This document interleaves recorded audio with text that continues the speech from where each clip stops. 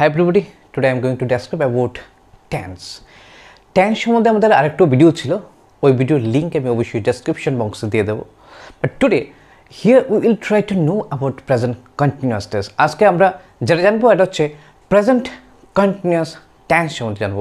এর আগে তো আমরা অবশ্যই আমরা বলেছিলাম এর আগের ভিডিওতে যে ট্যান্স সাধারণত তিন ধরনের হয়। প্রেজেন্ট পাস্ট অ্যান্ড ফিউচার এখন আগে পরে।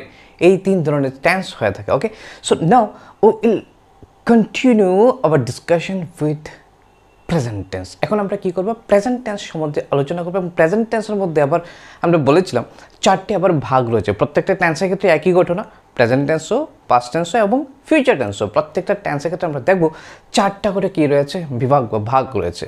সো এই প্রেজেন্ট টেন্সের যে চারটা ভাগ রয়েছে, আমরা বলেছিলাম প্রেজেন্ট ইন্টিমিনিট অথবা সিম্পল প্রেজেন্ট বলতে পারি।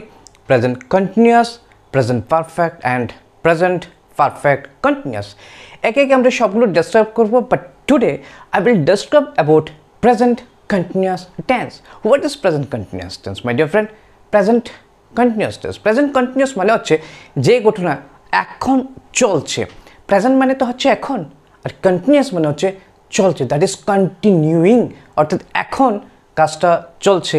এই ক্ষেত্রে আমরা কী বলতে পারি? Present continuous tense right okay প্রথমে কতগুলো এক্সাম্পল দেখে নিই প্রেজেন্ট কন্টিনিউয়াস টেন্সের ওকে তারপর আমরা একে একে আলোচনা করছি। দেখো, প্রথমে এক্সাম্পল যদি দেখো প্রেজেন্ট কন্টিনিউয়াস টেন্সের he is going to school he is going to school সে বিদ্যালয়ে যাচ্ছে।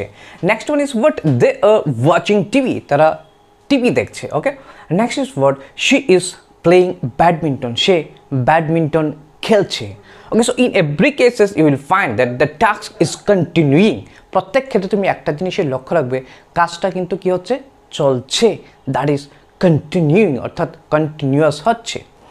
যেহেতু প্রেজেন্ট টেন্স হচ্ছে, তাই আমরা বলছি present continuous so this are the examples of the present continuous tense এখন ঘটনা হচ্ছে, মূল বিষয় যদি আমরা লক্ষ্য করি, যখন আমরা লিখছি, লেখার ক্ষেত্রে কীভাবে আমরা প্রেজেন্ট কন্টিনিউয়াস টেন্স লিখে থাকি? যেটা তোমার স্ট্রাইকিং ফ্যাক্টর ক্ষেত্রে সবচেয়ে আগে মনে রাখতে একটা বি ভার্ব ইউজ হচ্ছে। কী হচ্ছে? Be verb in case of present tense আমরা জানি কি হয়? Be verb is am are এগুলো okay is am are is for single number singular number and are for what plural number subject যদি plural নাম্বারে থাকে তাহলে আর আর এম তো কার সাথে হয়? আয়ের সাথে হয়। আমরা বলেছি ইংরেজিতে হাজব্যান্ড অ্যান্ড ওয়াইফ হচ্ছে কে? আই আর হচ্ছে এম আই আর এম সাধারণত একসাথে সবসময় হয়ে থাকে ওকে সো রাইট প্রথম ঘটনা যেটা হচ্ছে, আমরা দেখলাম যে প্রেজেন্ট কন্টিনিউয়াস টেন্সে বি ভার্ব হয়, তারপর ভার্বের সাথে আইনজি হয় ভার্বের কি ফর্মের সাথে? বি ওয়ান অর্থাৎ প্রথম ফর্মটার সাথে। যেমন ধরো গো ওয়েন্ট গন সো গোয়ের সাথে কিন্তু আইএনজি হবে ওয়েন্টার সাথে না ওয়েন্টিং নয় ওকে গনিং নয়। কার সাথে হবে? গো এর সাথে। বি ওয়ানের সাথে কি হবে? আই এন জি হবে। সো ভার্বের বেস ফর্মের সাথে কি হচ্ছে? আই এন জি আর কি হচ্ছে? বি একটা লিখতে হচ্ছে। দেখো, প্রথম এক্সাম্পলে he is going to school এখন ইজ হয়েছে। রাইট এবং একই সাথে সাথে গো এর সাথে একটা কী হয়েছে? আই এন জি হয়েছে। রাইট এই দুটো জিনিস মনে রাখতে হয় না বা we are writing any sentence in present continuous tense কী হবে তাহলে? ভি ভাব তোমাকে অবশ্যই লিখতে হবে এবং একই সাথে সাথে ভার্বের সাথে আই এন জি লিখতে হবে right so this two things you need to remember always হয় না বা you are translating any sentences into present continuous tense right okay এবারে আমাদের জানা দরকার কোন কোন সেন্টেন্সগুলি প্রেজেন্ট কন্টিনিউয়াস আমরা লিখব? অর্থাৎ হোয়াট আর দ্য সিচুয়েশনস কোন কোন সিচুয়েশনগুলো রয়েছে যে ক্ষেত্রে আমরা বলব হ্যাঁ একটা প্রেজেন্ট কন্টিনিউস টেন্স রয়েছে, এই ক্ষেত্রে আমাদের বি ভাব এবং ভাবের সাথে আইএনজি লিখতে হবে। নাম্বার ওয়ান দেখো, সাধারণত চারটে ক্ষেত্রে আমরা হয়ে থাকি এই ধরনের প্রেজেন্ট কন্টিনিউস টেন্স চারটে সিচুয়েশন আমরা বলতে পারি এই ক্ষেত্রে। নাম্বার ওয়ান হচ্ছে to express action that is happening or not happening now অর্থাৎ কোনো একটা ঘটনা এখন হচ্ছে কিংবা হচ্ছে না। অর্থাৎ চলছে, ওকে? ঘটনা হচ্ছে কিংবা হচ্ছে না। এই ঘটনাটা এক্সপ্রেস করার জন্য, বোঝানোর জন্য আমরা প্রেজেন্ট কন্টিনিউয়াস টেন্স ইউজ করি। ওকে এক্সাম্পলটা একটা দেওয়া হচ্ছে, দেখো। শি ইজ রাইটিং নাও সে এখন লিখছে, ওকে? সো সে এখন কাজটা করছে। এটা বোঝানোর জন্য কী হচ্ছে? Present continuous tense she is writing now ঘটনা যদি আমরা বলেছিলাম না ঘটছে, এই ক্ষেত্রে হচ্ছে সো আমরা যদি লিখি she is not writing now সে এখন লিখছে না। সো কোনো ঘটনা হচ্ছে কিংবা হচ্ছে না, এটা এক্সপ্রেস করার জন্য কি হয়? প্রেজেন্ট কন্টিনিউয়াস টেন্স আমরা ইউজ করি রাইট ওকে নেক্সট হচ্ছে না নাম্বার টু নাম্বার টু হচ্ছে কি দেখো a continuous action currently in progress অর্থাৎ একটা কন্টিনিউস অ্যাকশন স্বাভাবিক কাজটা চলছে, কিন্তু কাজটা প্রগ্রেস হচ্ছে, অর্থাৎ কাজটা অগ্রসর হচ্ছে। এই ক্ষেত্রে আমরা কী করি? প্রেজেন্ট কন্টিনিউস টেন্স ইউজ করি। একটা এক্সাম্পল দেখলে আরও ক্লিয়ার হয়ে যাবে। দেখো you are finishing your studies at the university তুমি তোমার স্টাডি অর্থাৎ পড়াশোনা ইউনিভার্সিটিতে কী করছ? কমপ্লিট করছ করিতেছ that is got is continuing okay and it is also in progress that means you have not yet completed এখনও তুমি শেষ করোনি। কাজ কিন্তু কী হচ্ছে? চলছে কমপ্লিট করছ। ওকে পড়াশোনা করছ ইউনিভার্সিটিতে সো এই কাজটা যে প্রগ্রেস হচ্ছে, সামনের দিকে এগুচ্ছে, এই জিনিসটা বোঝানোর জন্য কী হয়েছে প্রেজেন্ট কন্টিনিউয়াস টেন্স এ হচ্ছে দ্বিতীয় ঘটনা। নেক্সট দেখো।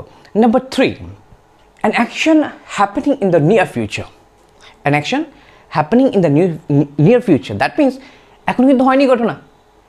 হবে ভবিষ্যতে বাট ভবিষ্যৎ বলতে এই নয় যে চার পাঁচ বছর পরে ঘটবে। অর্থাৎ খুব কাছে তার ইদানিং কালের মধ্যে ঘটবে, এমন যদি হয়ে থাকে, অর্থাৎ যেটাকে বাংলায় বলা হয় ঘটমান ভবিষ্যৎ, অর্থাৎ সামনেই হচ্ছে, কিছুক্ষণের মধ্যেই হচ্ছে ডেফিনেটলি এই ঘটনা বোঝানোর জন্য আমরা কী করে থাকি? প্রেজেন্ট কন্টিনিউস টেন্স ইউজ করে থাকি। একটা এক্সাম্পল যদি নেই I am going to receive my friend from the airport আমি এয়ারপোর্ট থেকে আমার বন্ধুকে রিসিভ করতে যাচ্ছি। দ্যাট মিন্স আমি কী হবে? এখনও কিন্তু জানি আমি কী হচ্ছি? যাচ্ছি। তো আমি রিসিভ করব কিন্তু এখন নয় ভবিষ্যতে করব। But it is near very near অর্থাৎ কী হতো, কী কী হচ্ছে এখানে? খুব শীঘ্রই ঘটনাটা ঘটতে যাচ্ছে। অর্থাৎ নিয়ার ফিউচার ঘটনাটা ঘটতে যাচ্ছে।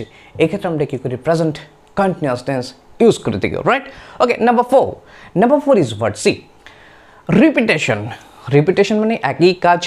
বারবার যদি সাধিত হয়, একই কাজ যদি বারবার করতে থাকে in case of that we can use present continuous tense for example দেখো he is always interrupting other people সে সবসময় অন্য লোককে কী করে? ইন্টারাপ্ট করে মানে ব্যাঘাত ঘটে তাদেরকে কী করে? বিরক্ত করে। সো সি এখানে লেখা হচ্ছে হি ইজ অলওয়েজ সবসময় করে। That means the task will repeat এই ঘটনাটা রিপিট হচ্ছে, পুনঃ পুনঃ হচ্ছে।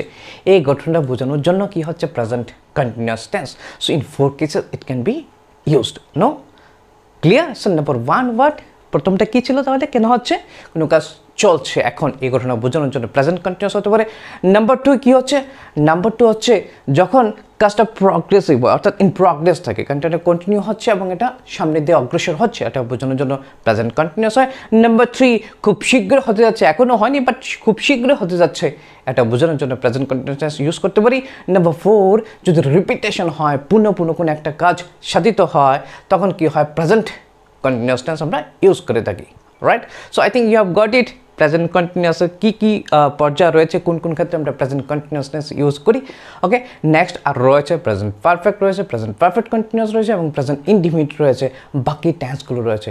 চোখ রাখো নেক্সট ভিডিওতে আমরা অবশ্যই ভিডিও নিয়ে আসব, এই এই ট্যান্সের বিভিন্ন প্রকারভেদ নিয়ে। Okay thank you very much for watching this video and keep watching and keep learning